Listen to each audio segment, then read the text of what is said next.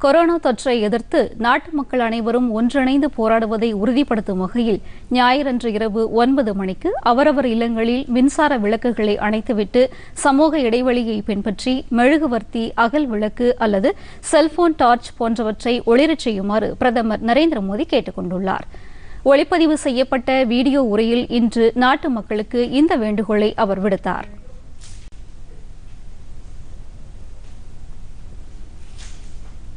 எனதருமை சக குடிமக்களே கோவிட் பத்தொன்பது தொற்றுக்கு எதிரான நாடு தழுவிய முடக்க நிலை அமலில் இன்று ஒன்பதாவது நாளை எட்டியிருக்கிறோம்.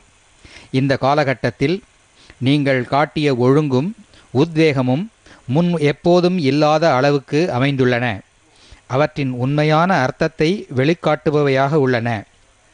முடிந்தவரையில் இந்த சூழ்நிலையை சிறப்பாக கையாள்வதில் அரசும் நிர்வாகமும் பெருமளவில் மக்களும் ஒன்றுபட்டு மகத்தான முயற்சிகள் மேற்கொண்டுள்ளனர். கோவிட் பத்தொன்பது தாக்குதலுக்கு எதிரான போரில் முன்களத்தில் நிற்பவர்களுக்கு மார்ச் இருபத்தி ரெண்டு ஞாயிற்றுக்கிழமை நீங்கள் நன்றி தெரிவித்த விதம் இன்று எல்லா நாடுகளுக்கும் ஓர் உதாரணமாக அமைந்துவிட்டது. பல நாடுகள் இப்போது அதே போல செய்யத் தொடங்கியுள்ளன.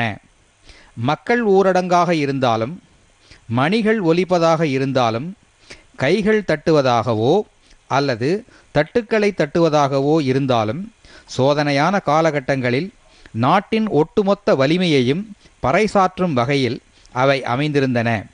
கோவிட் பத்தொன்பதுக்கு எதிரான நடவடிக்கையில் நாடு ஒன்றுபட்டு நிற்கும் என்ற நம்பிக்கையை பலப்படுத்துவதாக அவை இருந்தன. உங்களுடைய இந்த தேசத்தின் கூட்டுச் செயல்பாடுகள் முடக்க நிலை அமல் காலத்தில் மேலும் சிறப்பாக இருப்பதை காண முடிகிறது. நண்பர்களே இன்றைக்கு இந்த நாட்டின் கோடிக்கணக்கான மக்கள் வீடுகளிலேயே இருக்கும் நிலையில் அவர்கள் வீடுகளில் என்ன செய்ய முடியும் என்ற கேள்வி எழுவது யாருக்கும் இயல்பானதுதான். இது போன்ற ஒரு பெரிய போராட்டத்தை தாங்களாக எப்படி எதிர்கொள்ள முடியும் என்று சிலருக்கு கவலையாக இருக்கலாம். இதுபோல இன்னும் எத்தனை நாட்களுக்கு இருக்க வேண்டுமோ என்ற கவலையும் பலருக்கு உள்ளது. நண்பர்களே இது நிச்சயமாக முடக்க நிலைக்கான காலம். பெரும்பாலும் நாம் நிச்சயமாக வீடுகளிலேயே இருக்க வேண்டிய காலம். ஆனால் நாம் யாரும் தனிமையில் இல்லை. நூற்று முப்பது கோடி இந்தியர்களின் கூட்டு வலிமை நம் ஒவ்வொருவருக்கும் உள்ளது. அதுதான் நம் ஒவ்வொருவரின் பலமாக உள்ளது. இந்த கூட்டு வலிமையின் மகத்துவம் மிடுக்கு தூய்மை நிலை ஆகியவற்றை அவ்வப்போது உணர்வதற்கான காலமாக இது இருக்கிறது என்பதை நாட்டு மக்கள் உணர வேண்டும். நண்பர்களே நமது நாட்டில் குடிமக்கள்தான் இறைவனைப் போல கருதப்படுகிறார்கள். எனவே இது போன்ற பெரிய போராட்டத்தை நாடு எதிர்கொண்டிருக்கும் போது இது போன்ற கூட்டு வலிமை மக்களிடம் அவ்வப்போது பல மடங்கு பெருகிட வேண்டும். இந்த அனுபவம் நமது தார்மீக நம்பிக்கையை அதிகரிக்கும். நல்ல வழிகாட்டுதலும் தெளிவும் கிடைக்கும். பொதுவான இலக்கு எதுவென தெரியும். அதை அடைவதற்கான சக்தி கிடைக்கும். நண்பர்களே கோவிட் பத்தொன்பது தொற்றால் இருள் பரவியுள்ள நிலையில் ஒளி மற்றும் நம்பிக்கையை நோக்கி நாம் தொடர்ந்து முன்னேறிட வேண்டும். நம்மில் மிகவும் பாதிக்கப்பட்டவர்களை ஏழை சகோதர சகோதரிகளை ஏமாற்ற சூழ்நிலையில் இருந்து நம்பிக்கையான சூழ்நிலைக்கு கொண்டு வருவதற்கு நாம் தொடர்ச்சியாக பாடுபட வேண்டும்.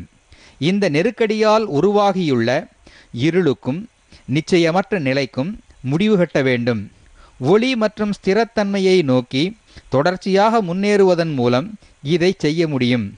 நான்கு திசைகளிலும் ஒளியின் ஐஸ்வர்யத்தை பரவச் செய்வதன் மூலம் இந்த தீவிர இருளை நாம் வென்றாக வேண்டும். அதனால்தான் வருகிற ஞாயிற்றுக்கிழமை ஏப்ரல் ஐந்தாம் தேதி நாம் அனைவரும் ஒன்றுபட்டு கொரோனா நெருக்கடியால் உருவாகியுள்ள இருளை முறியடிக்க வெளிச்சத்தின் சக்தியை பயன்படுத்த வேண்டும்.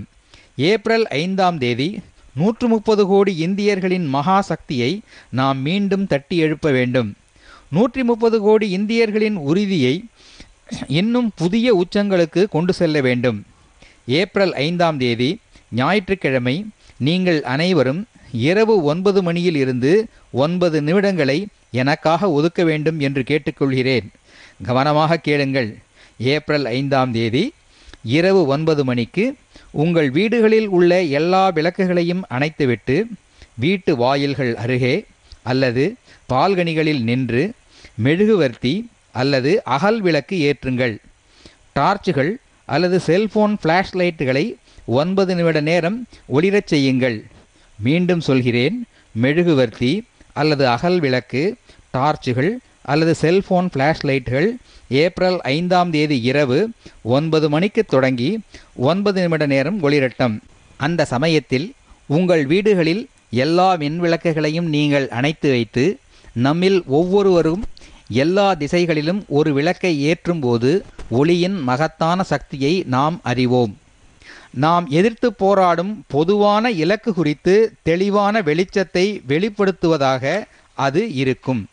அந்த வெளிச்சத்தில் அந்த பிரகாசத்தில் அந்த மிளிர்வில் நாம் யாரும் தனியாக இல்லை பொதுவான ஓர் உறுதிப்பாட்டில் நூற்று முப்பது கோடி இந்தியர்கள் உறுதி கொண்டிருக்கிறோம் என்ற தீர்மானத்தை எடுத்துக்கொள்ளுங்கள் इस कोरोना संकट से जो अंधकार और अनिश्चितता पैदा हुई है उसे समाप्त करके हमें उजाले और निश्चितता की तरफ बढ़ना है इस अंधकार में कोरोना संकट को पराजित करने के लिए हमें प्रकाश के तेज को चारों दिशाओं में फैलाना है।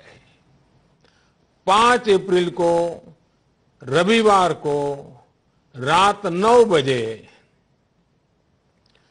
घर की सभी लाइटें बंद करके घर के दरवाजे पर या बालकनी में खड़े रहकर नौ मिनट के लिए मोमबत्ती दिया टॉर्च या मोबाइल की फ्लैशलाइट जलाएं நண்பர்களே இது தொடர்பாக நான் இன்னொரு கோரிக்கையும் வைத்திருக்கிறேன் இந்த நிகழ்ச்சியில் பங்கேற்கும் போது யாரும் வெளியில் ஒன்று கூடவோ அல்லது கூட்டமாக சேரவோ கூடாது என்பதே அந்த கோரிக்கை.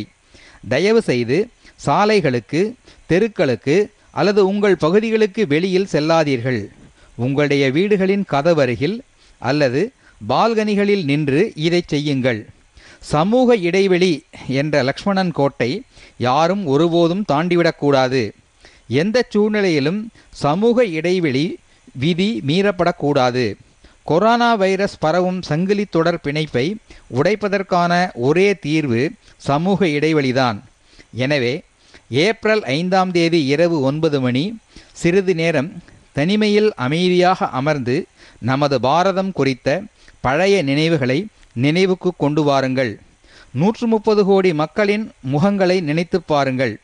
கூட்டு தீர்மானத்தை நூற்று முப்பது கோடி இந்தியர்களின் கூட்டு மகாசக்தியை அனுபவித்திடுங்கள். இந்த நெருக்கடியான காலகட்டத்தில் போராடும் வலிமையையும் வெற்றிக்கான நம்பிக்கையையும் தருவதாக இது இருக்கும். இங்கே இப்படி சொல்லப்பட்டிருக்கிறது. உற்சாகோ பலவான் ஆரிய ந அஸ்தி உற்சாக பரம் பலம். சக உற்சாகசிய லோகேஷு ந கிஞ்சித் அபி துர்லபம். நமது எண்ணங்கள் உத்வேகம் ஆகியவற்றை காட்டிலும் மகத்தான சக்தி எதுவும் இந்த உலகில் கிடையாது என்பது இதன் அர்த்தம். இந்த வலிமையால் வெல்ல முடியாத விஷயம் எதுவும் உலகத்தில் கிடையாது. வாருங்கள் நாம் எல்லோரும் ஒன்று சேருவோம். இந்த கோவிட் பத்தொன்பது தாக்குதலை எல்லோரும் சேர்ந்து முறியடிப்போம். இந்தியாவை வெற்றிகரமான நாடாக்குவோம். மிக்க நன்றி.